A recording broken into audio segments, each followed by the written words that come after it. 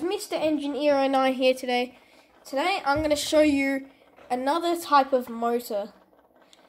So here I've got my AC motor which I explained how it works and the inside of it in my previous video.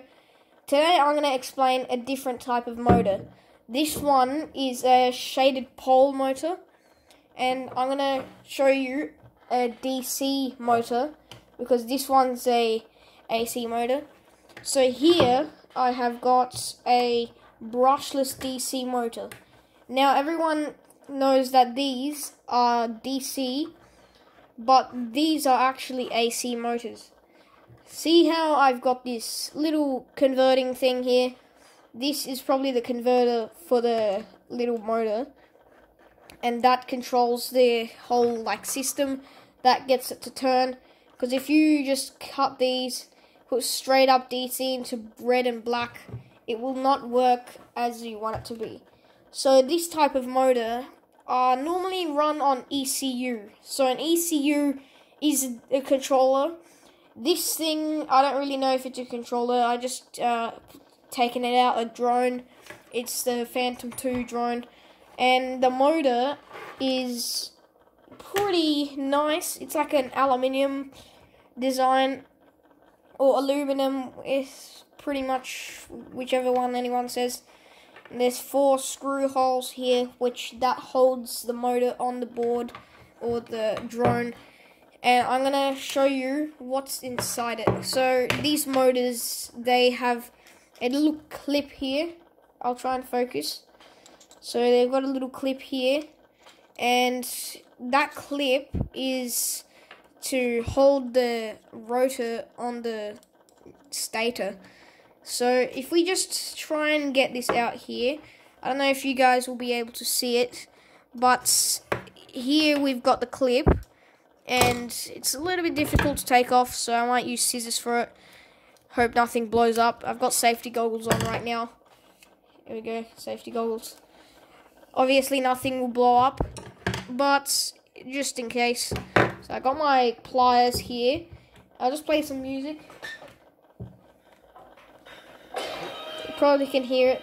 Just some background music just while we take clip off. Should be easy.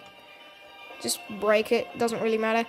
Now these motors, I'll just explain a few things while taking this off. These motors, they are very high speed motors.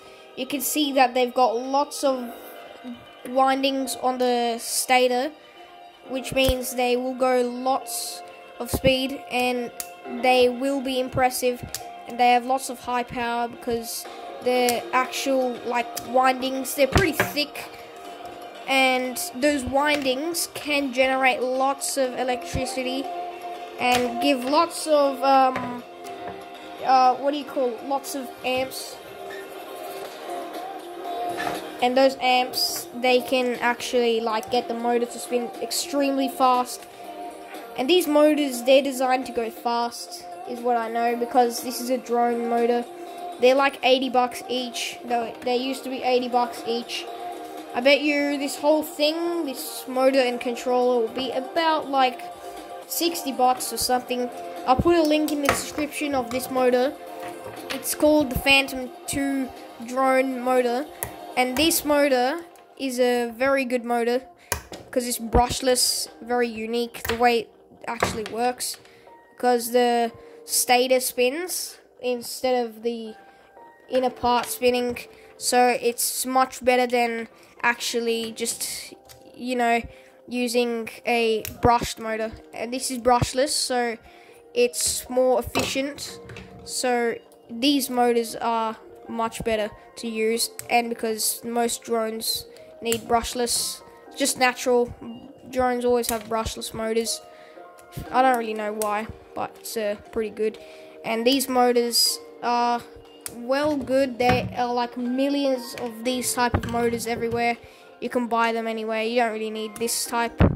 This type is just a drone motor. Otherwise you can get some other gold colored ones with better bearings. As you can see here, there's actually a bearing. And the bearing is to make the motor better, like to keep spinning.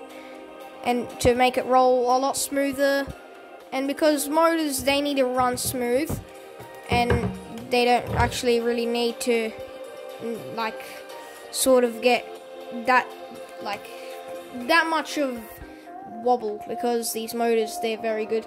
So here I've got the clip off. It should come off pretty soon.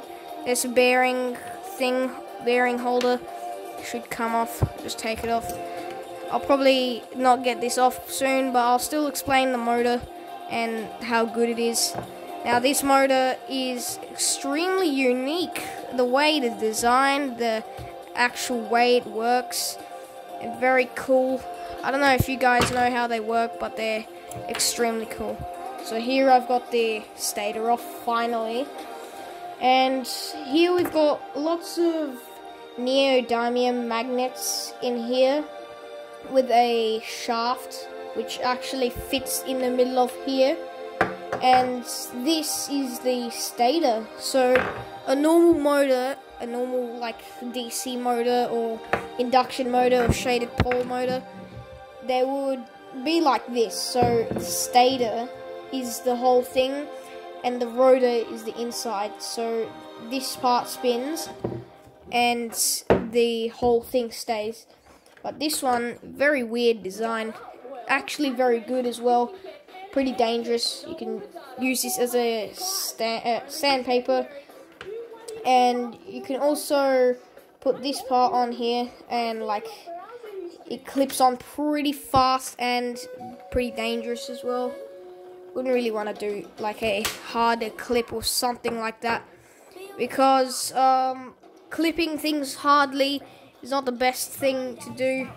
Just turn these speakers off, and like it may actually damage your magnets because that's happened to me once. It has damaged one of these motors on my drone. Like it's actually damaged around here. It's clipped on so fast because these magnets are very powerful very attractive. And see, they even stick just like this. And this motor is actually very cool. This works as a speaker as well. So you can tune it at some sort of frequency or some volts or something, and it will beep like the drone has. When you turn it on, you hold the battery. I'll get the battery here. Here's the battery here. It's a Phantom 2 battery. I think it's placed like this. It says Phantom on there. It's a pretty good battery. 5200, 11.1 volt, which this battery can get these motors to spin extremely fast and these motors to actually make some thrust with the propellers. And here, this actually a screw. This is a screw. You can screw on propellers with it. They sort of self tighten when you turn the actual like when you throttle. And which is cool about this motor is also a little hole here. I think that's to take the shaft out or something. And so you can pull it out like without this coming, this can stay in there and then the whole thing comes out just like a stator. And this motor is pretty cool design. So that's pretty much the inside of these motors. I'll show you how they work in the next video.